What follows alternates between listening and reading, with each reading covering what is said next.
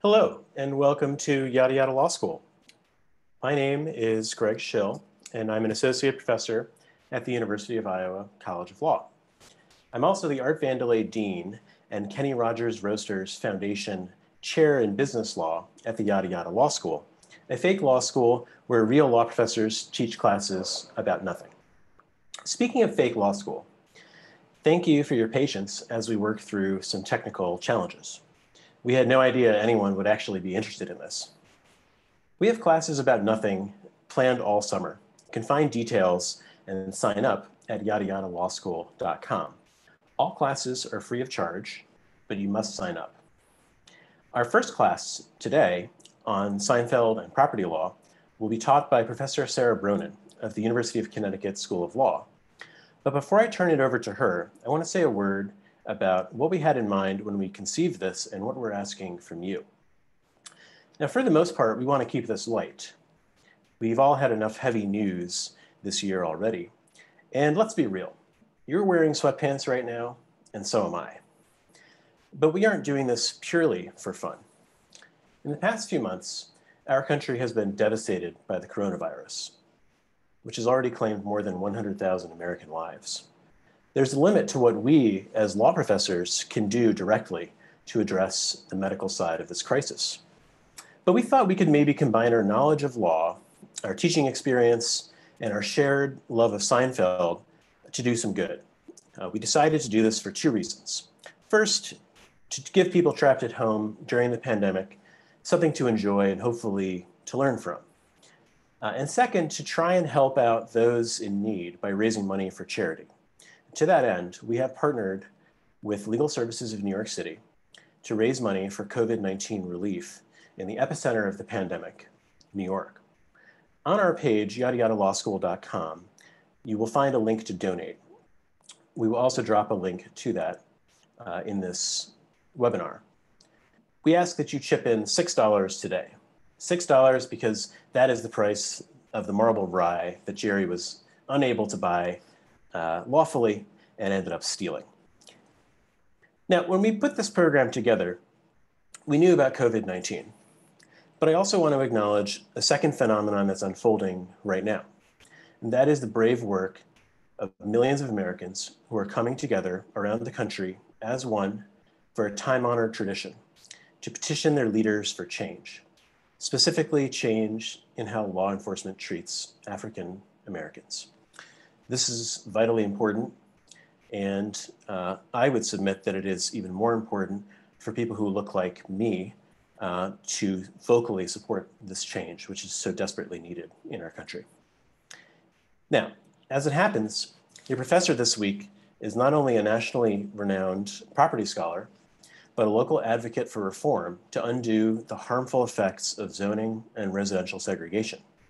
It's my pleasure now to turn the mic over to Professor Sara Bronin, the Junior Mint Professor of Law at Yada Yada Law School and the Thomas F. Gallivan Chair in Real Property Law at the University of Connecticut School of Law.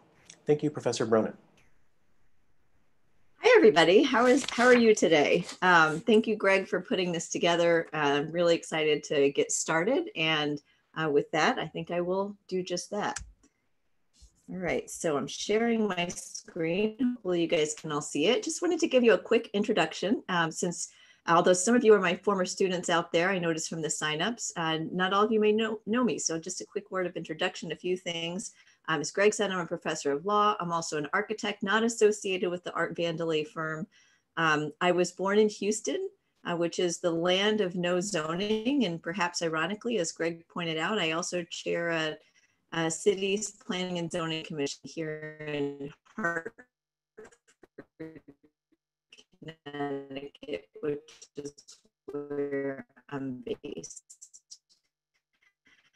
I am Mexican American. I'm really proud of Urban is up. And you can follow me with Sara Bronin, and there's my Greg alluded to this in his opening remarks, but I also want to acknowledge uh, my call in incredible weeks of silence, especially given uh, the week's event out about the show. So we recognize there are no major Black characters in this show. Uh, in a way, Black life is not portrayed uh, in any meaningful way. And there are some instances, uh, including uh, some instances that uh, Jessica Ruff has pointed out, episodes like The Cigar Store Indian and The Wizard, where uh, she calls it mocking the hypocrisy of whiteness, but uh, you know that that uh, there's something underlying some of the attitudes and views that were portrayed in the show.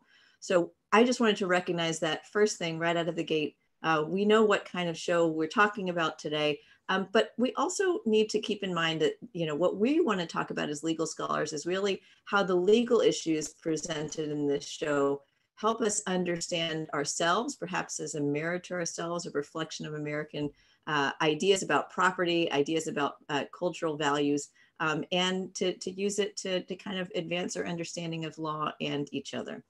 So uh, I'll also be speaking a little bit later in the presentation. Let me just find my uh, advanced button here. Uh, about how property law helps perpetuate racism and what we might be able to do about it. So with that introduction, I'm going to just repeat this urge to uh, sports. One is what is property law? So we're talking about we talk about this area of law. I know there are some lawyers on the phone, some law students on the on the on the phone or on the call, uh, and then also uh, just members of our broader community. So let's just all get on the same page about what property law is. Then we're going to talk about what can be owned and then what is ownership? And throughout, I'm just going to sprinkle some lessons because I'm a property professor after all. I've narrowed them down to five lessons. And these are the things I really want you to take with you as you move on from today's webinar into the world and, and, and hopefully more knowledgeable about property law. All right, so let's get started. So the first big question I wanted to address is what is property law? So it's not uh, a show about nothing. It's it's not a law about nothing. In fact, I would argue, uh, as a property law scholar, that it is the law of everything. The reason is, and this is what I tell my first year students in my property class every day, is that law governs human relationships and their relationships to things, to legal things. So, in doing that, property law really affects all of society, all of culture, our entire economy. The rights and obligations that are allocated through property law have profound impacts and they govern our daily lives. I would also argue, and we'll talk a little bit about this later, that property law creates winners and losers. So, the very first lesson right out of the gate here is property law is fundamental. And by fundamental, I mean fundamental to the way we organize ourselves as a society and fundamental to the way we relate to each other. In my property law class, and this is always a first year class, and I love teaching property and I love the first years uh, that, that I've taught. Um, these are the really basic questions that we start out with. What is, uh, what is a property? In other words, what can be owned? And then what is the nature of ownership? There's a whole other list of topics that we cover in property law. Of course, we're not going to be able to consider them today. They include the shared estates, estates and land, and the dreaded rule against perpetuities for the practicing lawyers out there. Um, title issues, servitudes like easements and covenants, and land use laws, including zoning laws, which I will touch on at the very end of this presentation. And of course, the big one is the Blackstonian bundle of sticks, how we allocate rights in property once we know somebody has a right in property, their right to use, to exclude, to transfer, and so on. But again, most of this I won't be able to talk about today. We're just going to focus on these first two basic questions. All right, so the first question uh, is what can be owned? And by that, I mean, what is property? How do we think about the law in relation to the things that the law gives rights uh, in and sometimes obligations for? So I put a little tagline here. It's very refreshing. You'll see why in a moment. So, what can be owned? So, there's a lot of different scenarios where you might come to own something or where you might uh, see ownership as being an essential question or issue. So first one here that I have, you find a quarter on the ground. That, that really invokes property law and the rights of finders, finders keepers, right? This is uh, the, the uh, adage that we hear and in fact has been enshrined into property law to some extent. You buy a house, of course, property law plays a role here. You get divorced, property law plays a role in the division of assets. Who gets what? What are they uh, secure in receiving after a divorce? Are there rights to future earnings as well? The law is what answers these questions. Also, you might donate an organ. That act, that act of donation suggests that you had property rights in the organ. You might use a mobile device, maybe one that's owned by your work. So it, you have some temporary ownership and use rights over that mobile device, but there's a little bit more complication here, and property law addresses that because your work is the one that ultimately owns your mobile device. And then finally, uh, fighting over the remote control. On a daily basis, you may exercise uh, property rights or at least assert property rights within your house when you're trying to watch maybe Seinfeld, maybe some other show. So all of that says that the objects of those actions are property. So some of the things that can be owned, money, houses, future earnings in the case of the divorce, body parts and liquids in your body. We've heard of sperm banks, right? So sperm can be owned. It's something that the body makes. Uh, tangible things like phones and remote controls. And then finally, intangible things. And it's this last category that I want to focus on. And that brings us to the first case in the assigned readings. And the case is Castle Rock Entertainment versus Carol Publishing Corp. And uh, I screenshotted the uh, Seinfeld aptitude test that is the subject of this case. So the Seinfeld, before I go to that slide, the Seinfeld aptitude test is a collection of trivia questions about Seinfeld.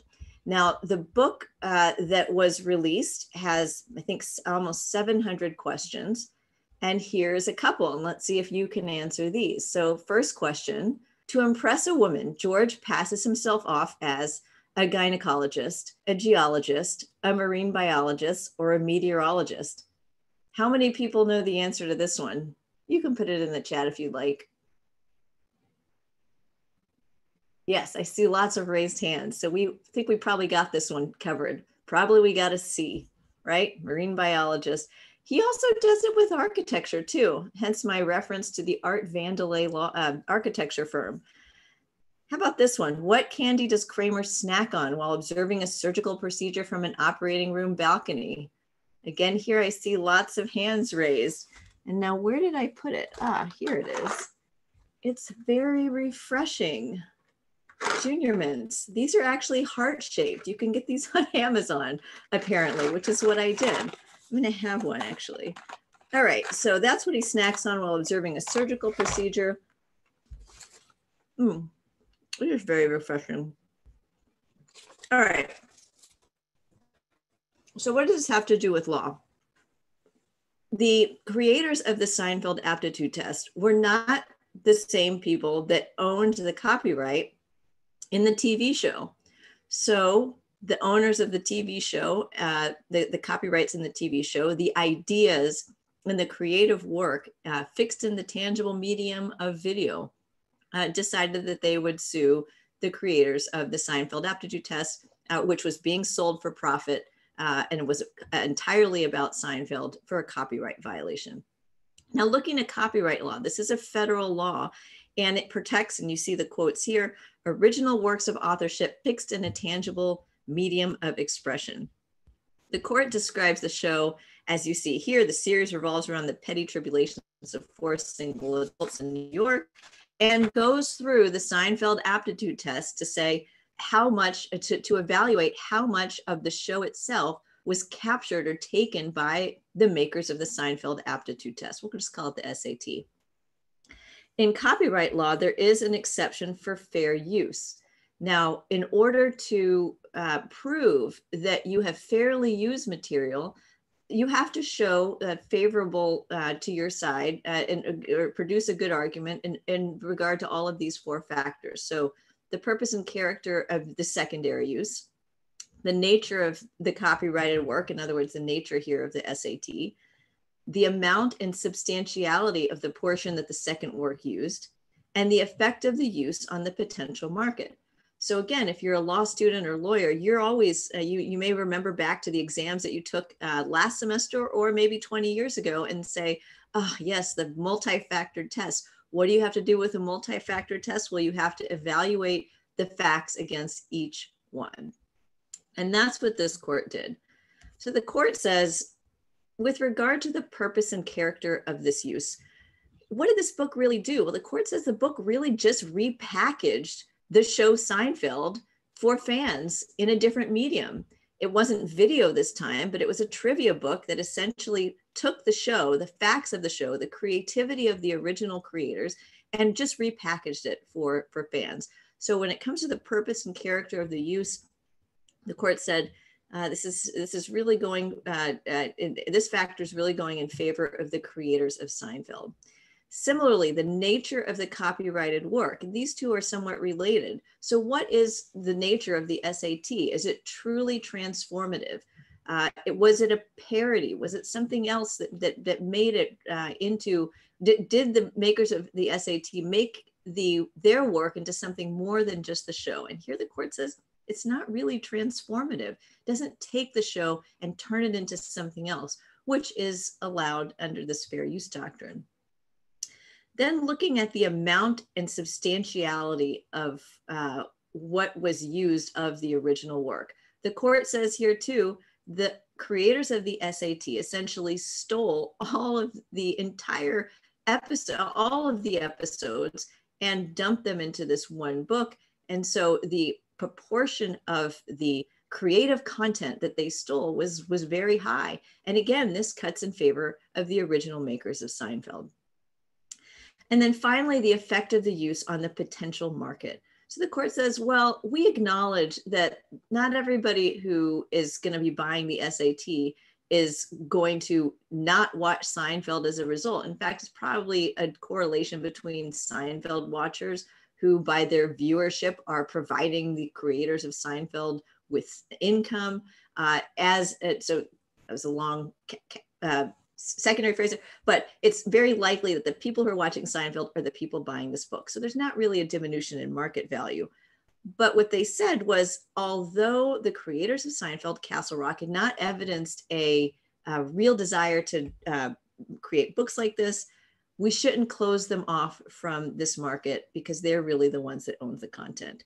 So in the end, the court says the makers of the SAT lose, the uh, makers of Seinfeld win. Seinfeld TV, Castle Rock, they own the rights to their ideas and they can do exactly what the bakers of the SAT did if they wanted to. They don't have to to assert the rights in being able to make a trivia book like this derived from their current work. All right, so lesson number two, we're talking about all the different types of things that can be owned in property law. Ideas have owners or let's say certain ideas have owners. Ideas can be owned. And there's a whole subset of property law, intellectual property law, which covers trademarks and uh, copyrights and patents and trade secrets and other ideas that have found protection in the law. All of that is part of property law. All right, next category. What is ownership? And here I give you a little sneak peek here. It's my parking space how do you show ownership? So, ownership in the law can be verified in a number of ways. So, let's say title is perhaps the most obvious way. Look at your deed to your house, or maybe even a, a written document uh, that is your lease to the apartment that you live in. A written title can be for, referred to broadly here as really a written document that proves ownership. And that is the case when it comes to real property the majority of the time. Another way to prove ownership is signage. You might, in some search situations, and we'll talk about one of those in a moment, be able to post a sign to something and in that way indicate that you own it.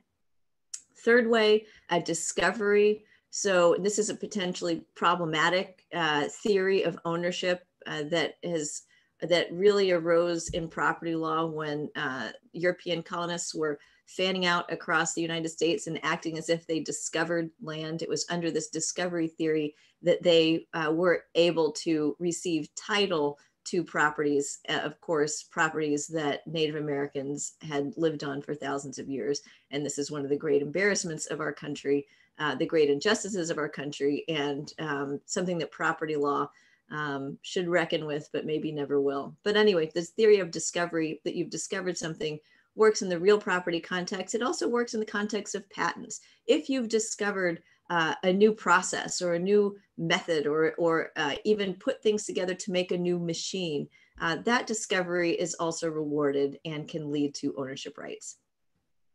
Creation, similarly, the creation of the idea of Seinfeld, that creation lends itself to uh, receiving uh, property rights in copyright law. Uh, but the thing I wanted to talk about today, and again, we're sort of, I'm giving you the broad and then I'm narrowing down to the topics that I think we'll be able to, to cover in the next uh, little bit. Uh, the thing I want to talk about today is possession, because it is through possessing something that you might actually be able to show you own it.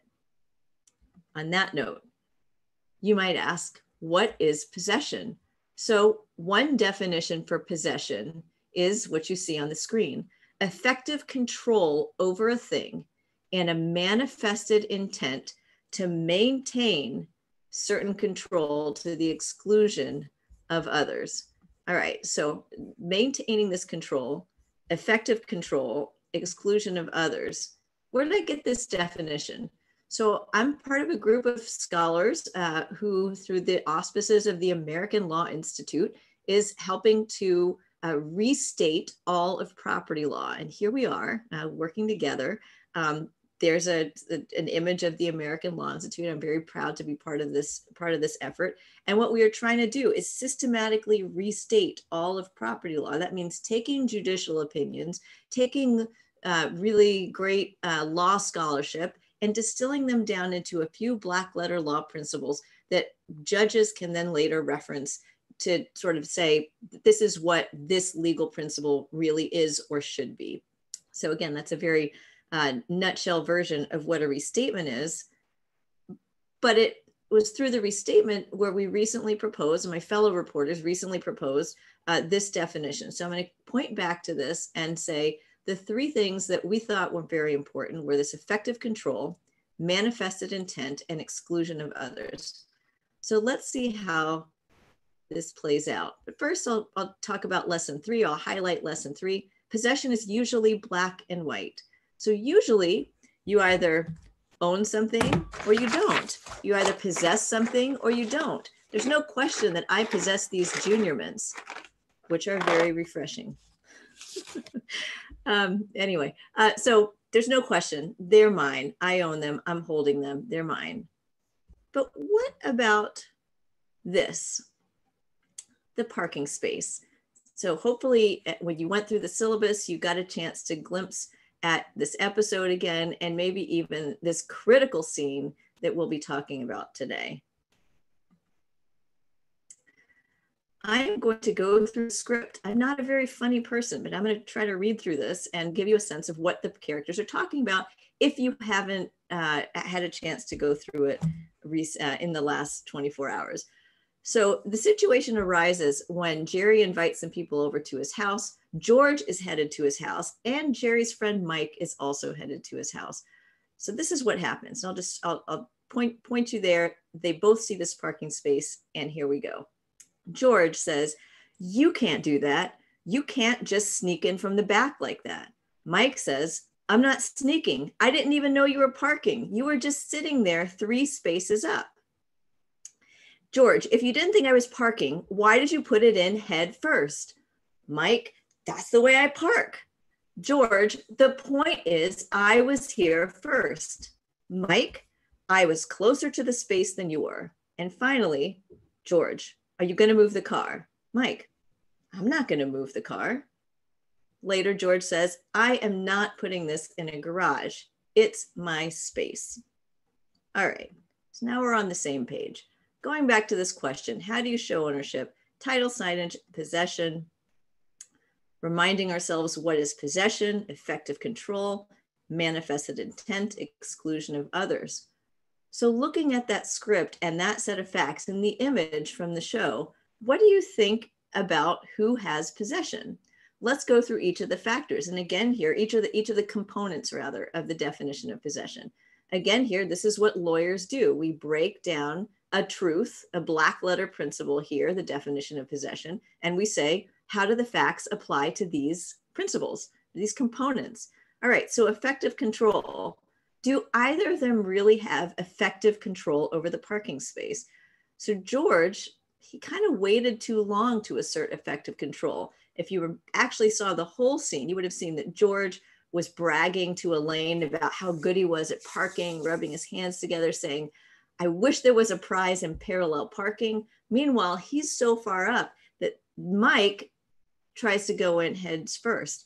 But then there's the question about Mike's claim to the space. Is his claim really legitimate? So George says you can't just back, you can't just sneak in from the back. But the effective control question, I think, it's not really clear who has control over the space physically. They're both more or less equally within the space. How about manifested intent? Well, this they both have both have manifested an intent to stay in the space. I'm not going to move my car. I'm not going to move my car. We're all we're, we have a clear intent. And again, here they've both expressed exclusion. So it's one or the other. You either one gets a space or they don't. You, you can't share a parking space, especially not in New York City. So how do you go about resolving this dispute? And this is where, again, thinking like a lawyer comes in. So lawyers always look to precedents. They always look to cases decided before the immediate question at hand. And they look to whether the facts are the same. They look to whether the reasoning is the same. And then, of course, they look to whether the outcome is the same. I'm just going to give you two precedents that I always talk about on the first day of property to see what you think about how we should resolve this case. The first one is Pierson versus Post. So this is a case about the fox, uh, about a fox. And this is an old case and made much more famous than, uh, you know, than anything because it's in every single property law case book. Uh, it's about two hunters on an, on an uninhabited, unowned beach. They are both in pursuit of the same fox. One hunter has spent many hours chasing after the fox, tiring this fox, putting a lot of labor into the hunt. The next guy, Post, uh, comes in at the very end of the hunt, swoops in, and actually does kill the fox, but only after the first guy, Pierson, tired out the fox. So the question for the court at that time is who do we, who do we reward? Do we reward the person who tires the fox or the person who actually reduces the fox uh, to to uh, property by killing it. It's a wild animal here, so so by killing it. Uh, the second case is Ghen versus Rich, and again here dealing with a wild animal, dealing with a whale back when uh, Americans did kill whales. Uh, whales are a common theme today, as you'll see in a moment, not just in our logo. Um, all right, so but the whales. Uh, so Ghen versus Rich. It, at that time, uh, it, in, in, the case at hand, there was a person who had harpooned the whale, and then a person who. So, so I guess the the thing that you might need to know is once you've harpooned a whale, you don't just bring the whale in on your boat. Apparently, the whale kind of has to sink and then float back up, and then be carried to the shore by waves. And then at that point, you can go and you um, you retrieve the whale and its parts and and all of that. So there's a multi-step process to uh, killing whales. And in any event, there's roles for both the person who harpooned the whale and a role for the person who finds the whale on the beach and makes sure that the person who harpoons the whale knows where it is. And uh, that person, the marker, uh, by custom, gets a certain share of profits. So in looking at those two cases, the case of the wild animal, the case of the fox, one thing is clear about both of these cases, and that is that the courts decide based on custom in hunting foxes and hunting whales in both situations. And if you think about a parking space as like a wild animal, it's uh, res nullius in a way, it's unowned, although of course we know it's the city that owns the land under the parking space. If you have an open parking space, it is somewhat like a wild animal. If you make that analogy, and then you go forward and say, well, in both of these wild animal cases, custom is key, then the real question that you have to ask is what is the custom in parking? Is the custom that you see somebody who's in front backing in and you assume that that person is entitled to the space or is the custom uh, first come first serve you get your nose in then you get the parking space. Well how many people think uh, custom favors george? I see hands lots of hands raised for this one. I think if we're thinking like a lawyer and looking at property law and looking at the wild animal cases which favored custom, we would say George is probably the winner here. So we're on to lesson number four. Property law often reflects social norms. Again, we'll come back to this one. Side note before we do. So uh, although we were talking about a, uh, a parking space uh, it's important to note, as I did just a moment ago, that no private party really owns the street. The street is uh, owned by the city, uh, usually uh, sometimes owned by the state. Uh, there might be right of ways additionally over private property, but in any event, the street itself is what you might call contested public space in a way. Um, I did want to mention that we are seeing a lot of contested public space issues this week, and a lot of these are property issues who has the right to be birding in Central Park? Who has the right to protest on public property? Who has the right to tear down publicly owned statues that are outrageous in what they represent? These are actually questions for property law.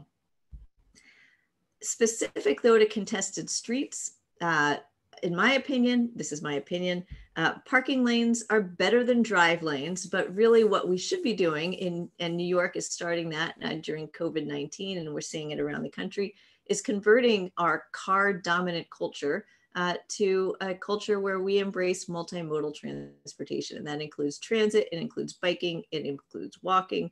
It's better for our cities, our health, our planet. End of public service announcement, but I couldn't let the parking space episode go without saying those things. Now we're going to get into who owns the golf ball. Okay, just kidding. Let's be serious.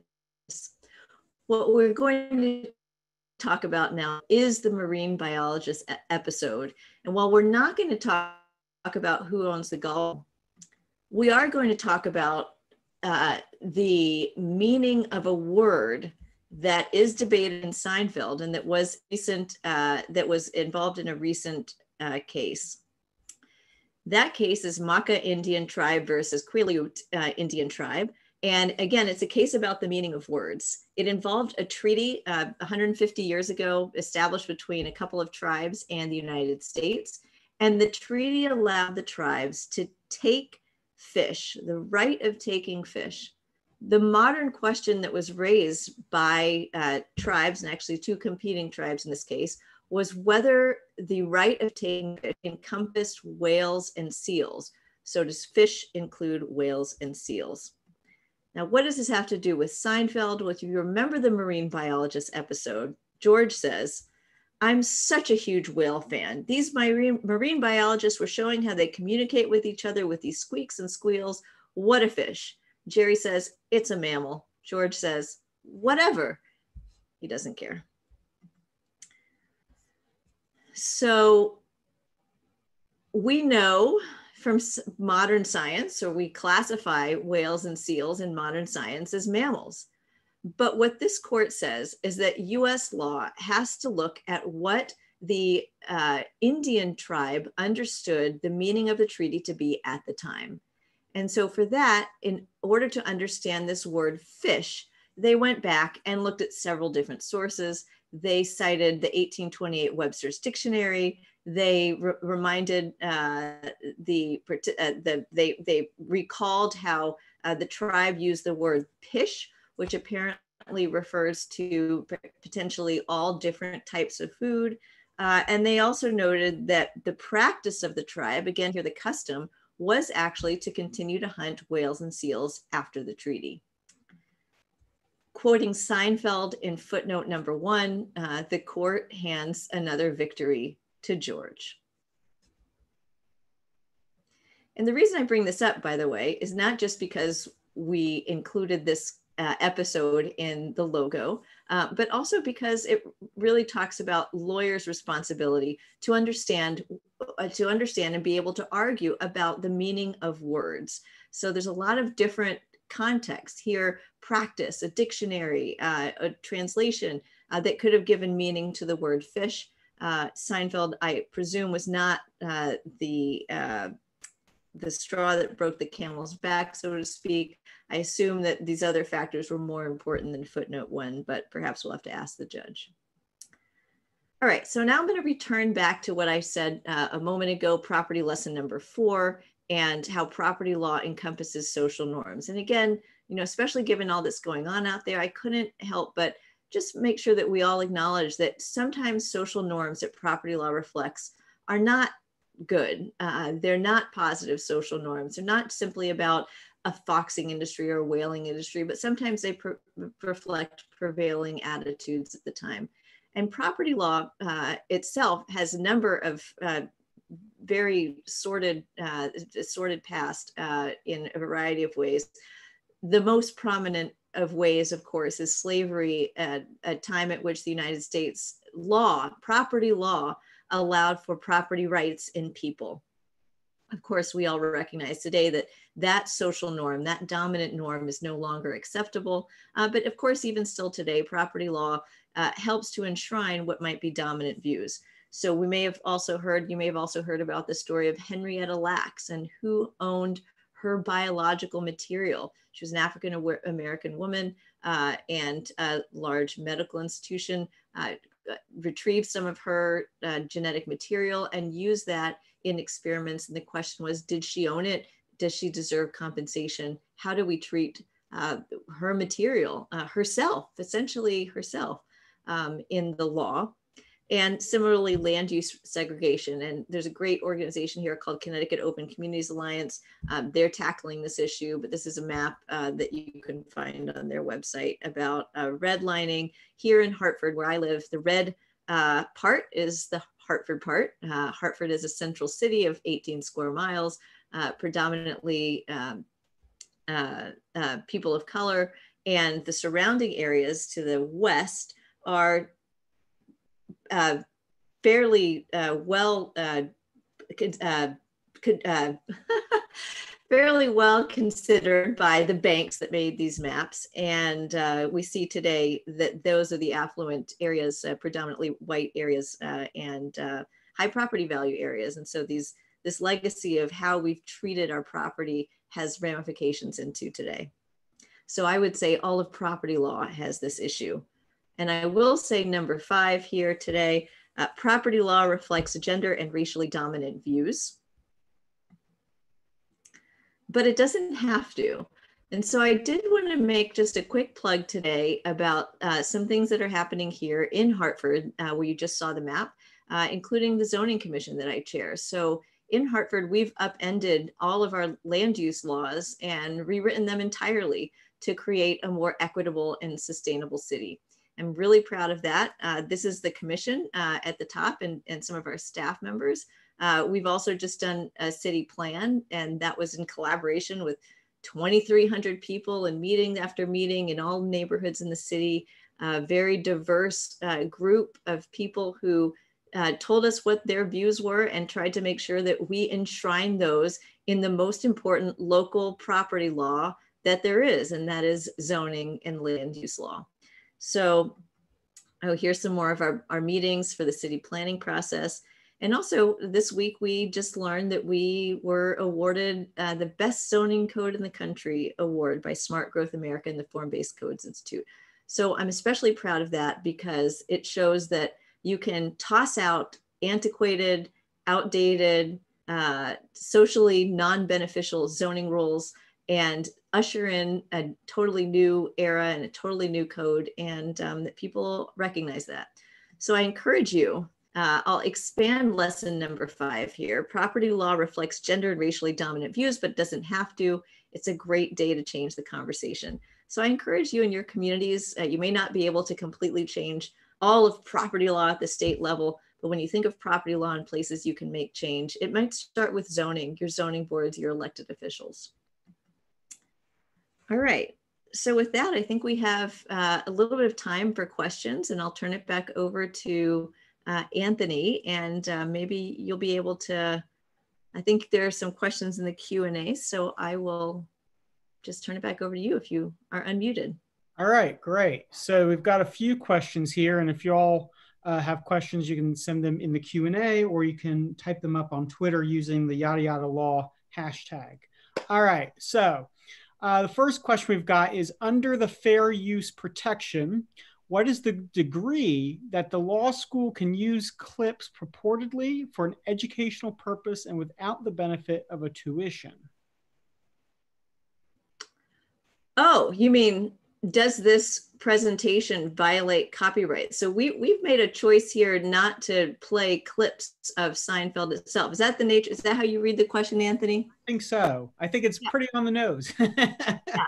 So that's a great question. And, and one of the reasons to kind of tackle this Castle Rock case is to illustrate the differences between the factors in that case as they might be applied uh, to this very webinar. So we made a choice not to play any of the videos. Uh, the scripts are available and you know you can see them yourself and paraphrase them um, online. Uh, the nature of this work is uh, the purpose of this work is, is educational. The purpose of this work is to educate about property law, about it includes intellectual property law. Um, the uh, character of this work is again educational. It is nonprofit in nature, although we are asking for, uh, you know, if you if you would like donations to the New York uh, Legal Services through our website, but it's not uh, profitable for us.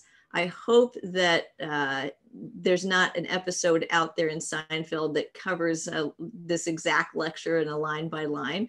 But unlike the SAT book, which takes all of the facts and all of the characters and simply repackages them, we hope that this series uh, ends up transforming and raising questions about some of the activities and characters and scenarios that we see in Seinfeld uh, and puts them in a legal context using our legal analysis to, to help uh, transform it into something else.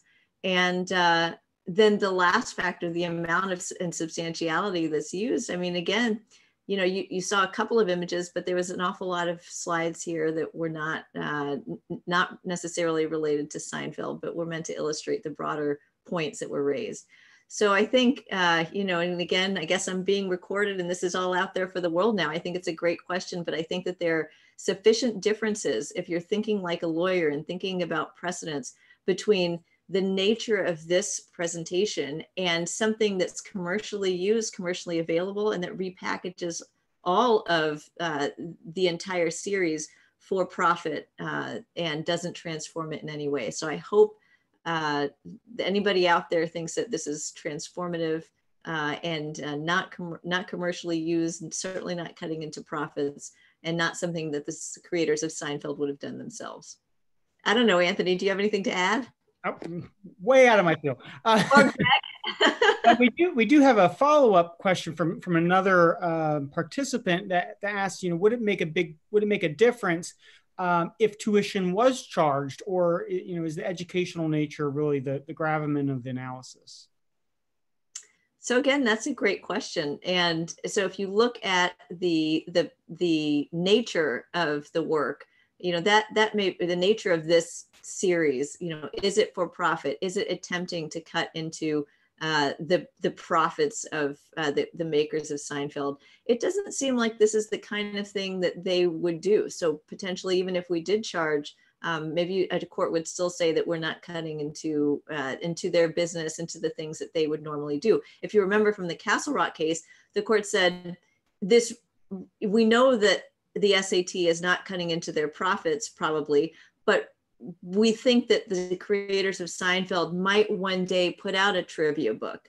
I'm not sure the creators of Seinfeld will, will one day put out a, a, legal seminar like this. So hopefully it doesn't make a difference, but we're not charging and we don't intend to. In fact, we, we all like the show and encourage you to watch it. So so, so related to the SAT uh, books, there's a question that the book title clearly plays on the SAT. So, could the College Board or the, the administrators of the SAT have made some kind of copyright infringement claim against the book or the publisher?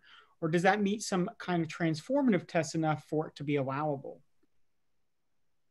Oh, that's another good one. I, you know, I, I think you could apply the same factors and try to figure out whether uh, the makers, the College Board, the makers of the real SAT, so to speak, would ever be thought to be likely to put out a book like this, or whether the other issue might be the likelihood of confusion. Something else we didn't talk about in uh, in copyright. It, dep- it depends on whether the uh, I, I, the term might be trademarked rather than copyrighted. Um, and so under trademark analysis, you would look under this question of, is it likely that somebody would be confused when they saw a college board SAT prep book versus a Seinfeld aptitude test book and buy the Seinfeld book instead of the College Board book. And, you know, somehow uh, that would eat into the College Board's um, uh, uh, mark in that case. So again, I have, I not, can't, don't know the top of my head whether SAT is trademarked. I assume it is. Um, so then we get out of copyright law and into trademark law, which is a different area of intellectual property law if you are uh, take uh, a law student or uh, in law school, you know, going into law school or in law school now, intellectual property law is a great course to take. So we have a question about how courts evaluate uh, what customs are. So we the question is, when when a court is evaluating a custom, what sources do they look to? So do judges look to expert testimony, or do they look somewhere else to figure out what the custom might be? Sure. So that's a great question. And what they look at is whatever the lawyers bring them. And so, again, here you're talking about a lawyering question, and good lawyering will mean finding all of the sources that will support the side that you want to argue for.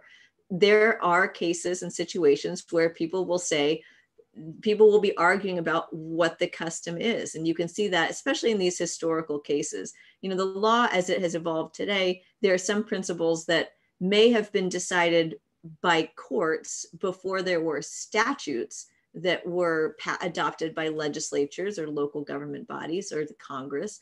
Um, so some legal questions may have been decided by courts, and, and in those cases, custom may have come into play when you're talking about a statute, a law that is written on the books and um, administered and uh, enforced by or administered by legislative bodies, then you're really talking about um, you know the, the, the situations where the legislature has decided what is.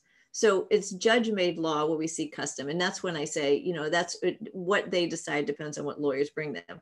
So it might be historical narratives, it might be artwork, it might be firsthand accounts, it might be data, it might be video in this day and age. You know what what are people doing? It might be internet searches. How do people use a certain term? And actually uh, you know that that that question comes up in in intellectual property law just like in in other cases. What how have people come to use certain things? Um, you know for example uh, the term kleenex. Oh there's a great uh, is it Kleenex? I just, uh, one of my students just sent me a great video about uh, trademark Velcro. It's Velcro. You have to look this up. It's a Velcro trademark uh, video. It's on YouTube. It's about three minutes long. And what they do is they say, please don't start calling any hook and loop system Velcro they say you have to call it a hook and loop system because the more Velcro turns into a customary usage for a hook and loop attachment system, the less, the, the harder it is for the company who holds the trademark in Velcro to keep that trademark and to keep that mark. So, you know, the cu custom, if, you know, seems like folks are interested in IP law, intellectual property law, uh, custom and, and usage and word usage has, has a role to play too in that context. And part of that is how we use words. Kleenex, for example, and Band-Aids are two examples of, of trademarks that have all but lost their meaning because of the common usage. So we have a question about custom and how it's used outside of animal cases. So the question is, to what extent do courts defer to custom beyond cases like wild animals? Are there any major cases that come to mind where a ruling radically uh, contravenes our social customs about property? Oh, where ruling radically contravenes. Oh gosh, I hadn't thought about this one. Um, certainly, there are situations where custom has been ignored. And uh, so I'll give you an example that does have to do with what might be considered an unowned object, and that is a baseball. So um, there was a Barry Bonds. So people know Barry Bonds, the baseball player. Um, he was at his height. Uh, his home runs were at, as he was approaching the record number of home runs. Uh, people were watching him and and trying to go to get. They would go to games. They would try to catch the ball. There's a property law case called Popov versus Hayashi that deals with a situation where the ball is caught by one party. Uh, it, well, the one party catches the ball and the crowd jostles the ball out of his hands and the ball is then caught firmly in, in exclusive control by someone else. So under the traditional or customary rule of baseball, it's usually whoever catches a fly ball. It's an unowned object once it flies into the air. Major League Baseball's uh, professional uh, opinion or, or I guess uh, custom is that they allow any fan who has secured the ball, uh, caught the ball to keep the ball. This is different from the NFL, where if a football goes into the stands, um, the NFL officials go and get the football back. In baseball, it's different. So you can consider a fly ball or a home run ball that has been hit a kind of unowned object, like a wild animal. So the custom is whoever secures it gets it. Well, in that case, because one person, and this is an expensive ball, because one person had gotten some control over it and the other person had secured it, it was unclear sort of how this, this rule might be applied. So if you just took the custom, literally, it might be the second guy, it might be the guy that held it and got it. Um, but it went to court and the court had an unusual remedy bucking the property law general rule that there is one winner and one owner. And in that case, Popov versus Hayashi, uh, the court said, you both own the ball. Now, what were they going to do with the ball? Were they going to saw it in half and each take one? No. The logical thing to do with the ball was to auction it off. And so they they eventually did auction it off. They got less money for it than they thought they would have.